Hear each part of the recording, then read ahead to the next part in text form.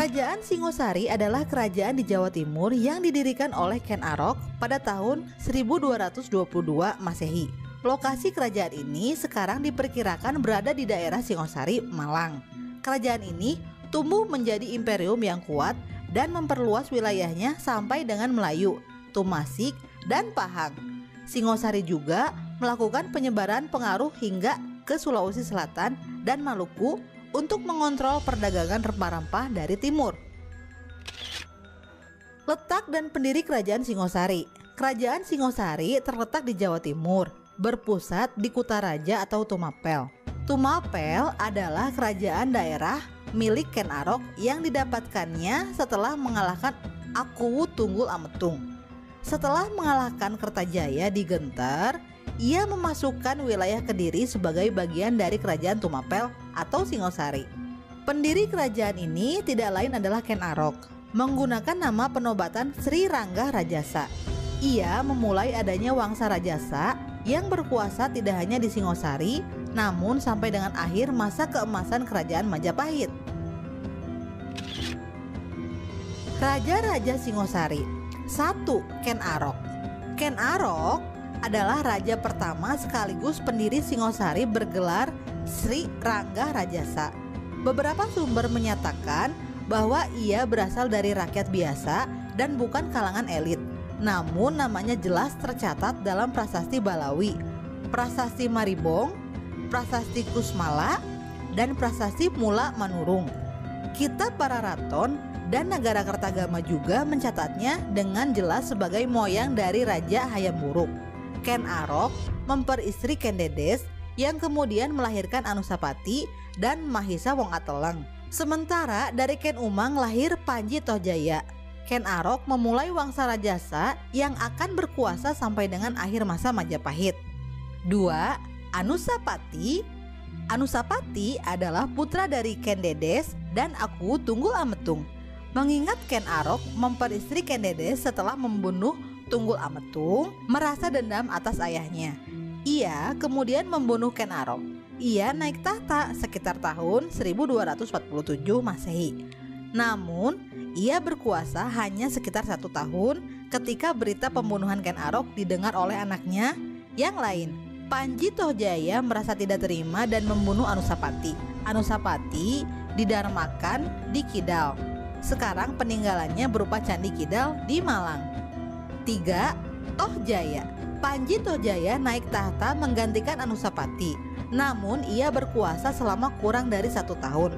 Ketika ada pemberontakan yang dilancarkan oleh kalangan Rajasa dan Sinelir Yang menyerbu istana dipimpin oleh Ranggawuni dan Mahesa Campaka. Tohjaya sempat melarikan diri ke Katang Lumbang Namun tewas karena luka yang didapatnya. Nama Tohjaya ini tidak disebutkan dalam negara Kertagama Salah satu alasannya karena ia dianggap bukan leluhur Hayam Wuruk. Tahukah kamu, Wangsa Sinelir yaitu merujuk pada keturunan Kendedes dari Tunggul Ametung. Sedangkan Wangsa Rajasa yaitu merujuk pada keturunan Kendedes dari Ken Arok. 4. Wisnu Wardana Ranggawuni naik tahta menggantikan Tohjaya dengan gelar Sri Jaya Wisnu Wardana. Ia memerintah bersama Mahisa Campaka Wisnu Wardana berkuasa cukup lama dalam masa damai dan makmur, kurang lebih selama 20 tahun. Hanya Wisnu Wardana yang mewariskan tahta langsung kepada anaknya, yaitu Kertanagara. Informasi mengenai Wisnu Wardana selain dari kitab Pararaton dan negara Kertagama didapat dari prasasti Tembaga di Kedu yang dikeluarkan oleh Raja Kertanegara. 5. Kertanagara Kertanagara merupakan raja terakhir sekaligus terbesar dalam sejarah Singosari. Ia melakukan perluasan kekuasaan ke barat melakukan ekspedisi Pamalayu tahun 1275 Masehi, menaklukkan Melayu, Tumasik, dan Pahang. Dilanjutkan dengan mengalahkan Bali pada tahun 1284 Masehi. Seluruh pulau Jawa berada di bawah kekuasaan Singosari meskipun tidak ditaklukkan secara militer. Kertanagara juga menjalin persekutuan dengan kerajaan Campa. Kebesaran kekuasaan ini menarik perhatian Kaisar Mongol yaitu Kublai Khan yang tengah mencapai masa kejayaannya. Ia mengirimkan perwakilan untuk meminta ketundukan Kertanegara terhadap Mongol. Kertanegara menolak memulangkan utusan dalam keadaan cacat sehingga mengundang invasi Mongol ke Jawa.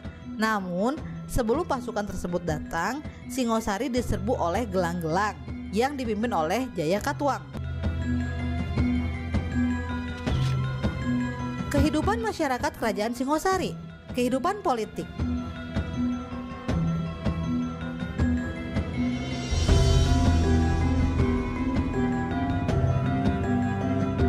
Kehidupan ekonomi,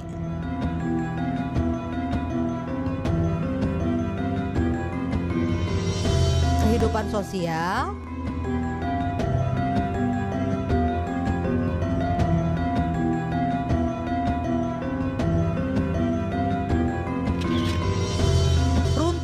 kerajaan Singosari.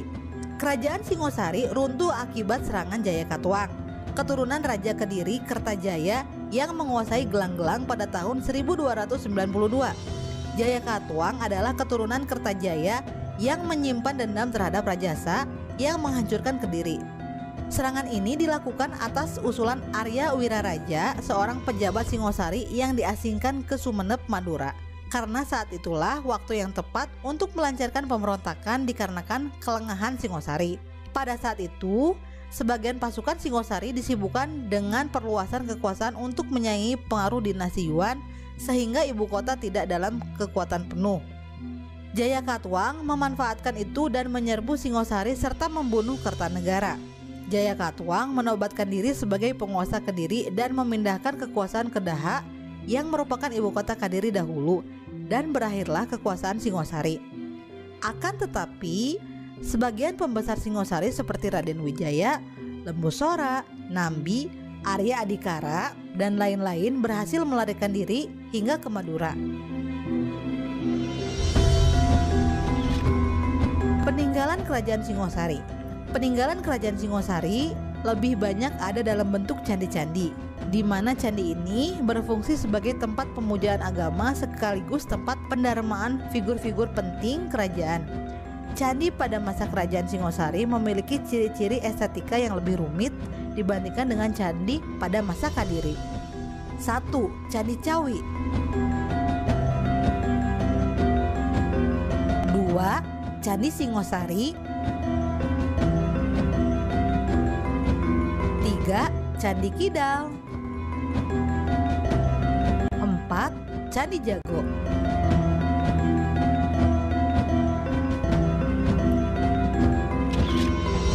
Jika materi ini bermanfaat buat kalian, silahkan like dan share karena dengan berbagi akan semakin banyak orang yang memahami dan mencintai sejarah. Semoga video kali ini menambah wawasan kalian tentang sejarah. Sampai ketemu pada materi selanjutnya.